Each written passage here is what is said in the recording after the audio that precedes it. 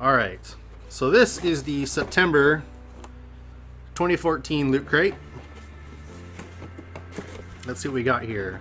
We have a, let's say the theme. Well, I don't know the theme offhand. We have a science fiction vinyl figure, little figure.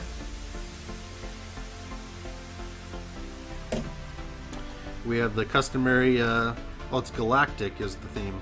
The September uh, Loot Crate pin.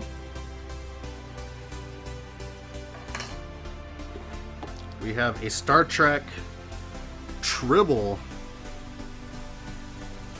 That's kind of crazy. Warning, keep out of reach of Klingons. Do not block ventilation grill. So, let's see if I can open this.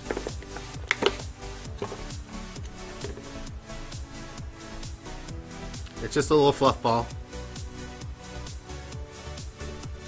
He doesn't squeak or move or nothing. Or she. Could be both. Uh-oh. Watermelon Pop Rocks. Yo, Rich Socash. We have an alien figurine, the alien.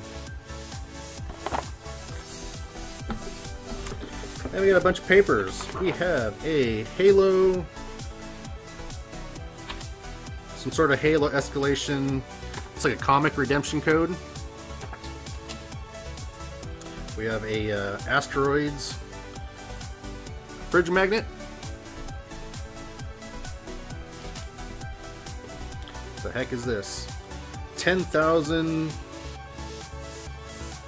dollars of what kind of money is this?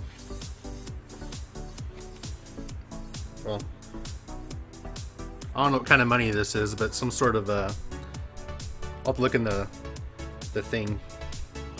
10 G's of that fake money. Loot crate, fall into savings.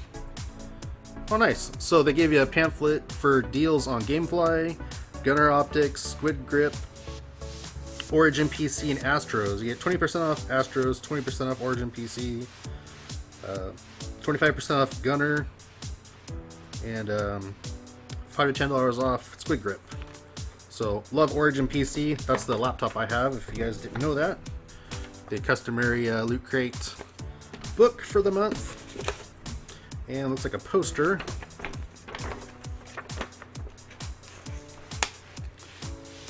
Oh, nice. They're not gonna, totally not going to be able to see this, but it's a uh, giant poster. Star Wars. And that is it for the September 2014 Loot Crate.